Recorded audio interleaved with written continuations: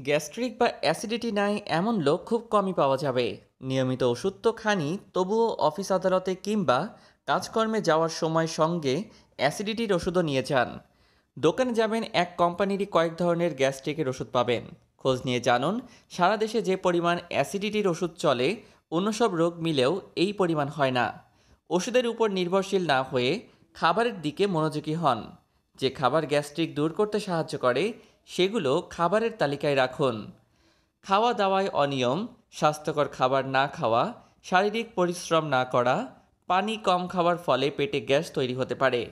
প্রথম দিকে সচেতন না হলে পরবর্তীতে আলসার হয়ে যাওয়ার আশঙ্কা থাকে। এবার জেনে নেই কোন কোন খাবার দ্রুত অ্যাসিডিটি কমায়। আদা। অ্যান্টি ইনফ্ল্যামেটরি উপাদান সমৃদ্ধ খাবার হলো আদা। এই উপাদান গ্যাসের সমস্যা, বুক জ্বালা পড়া, হজমে সমস্যা এবং অ্যাসিডিটি সমস্যা দ্রুত সমাধানে সক্ষম।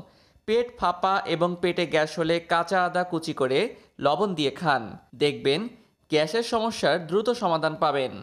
দই। দইয়ে ল্যাক্টোব্যাকিলাস অ্যাসিডোফিলাস ও বিফিডাসের মতো নানা ধরনের উপকারী ব্যাকটেরিয়া থাকে। এসব উপকারী ব্যাকটেরিয়া দ্রুত খাবার হজমে সাহায্য করে, সেই সঙ্গে খারাপ ব্যাকটেরিয়া ধ্বংস করে। তাই দই খেলে হজম ভালো হয় গ্যাস কমে। এই জন্য খাবারের পর দই খাওয়া বেশ কার্যকর, বিশেষ করে টক দই। শশা পেট ঠান্ডা রাখতে বেশ কার্যকরী খাবার শশা কাঁচা শশা হজমেও সাহায্য করে। এতে রয়েছে ফ্লোভানয়েড এবং অ্যান্টি ইনফ্ল্যামেটরি উপাদান, যা পেটে গ্যাসের উদ্রেক কমায়।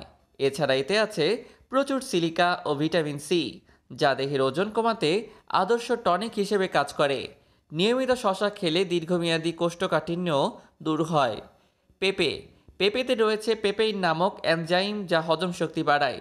তাই নিয়মিত পেঁপে খাওয়ার অভ্যাস করলে গ্যাসের সমস্যা কম হবে। পেঁপে কাঁচা পাকা দুই অবস্থায় খেতে পারেন।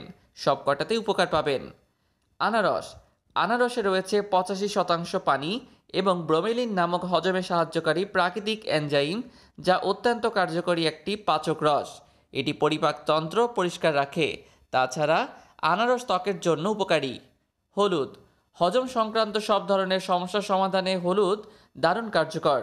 এটি চর্বি জাতীয় খাবার হজমে ভূমিকা রাখে। তাছাড়া হলুদে প্রদাহ নাশক উপাদান থাকে, যা প্রদাহ কমায়। কলা, যারা বেশি করে লবণ খান, তাদের গ্যাস ও হজমের সমস্যা হতে পারে। কলায় যে পটাশিয়াম আছে, তা শরীরের সোডিয়াম ও পটাশিয়ামের ভারসাম্য বজায় রাখে।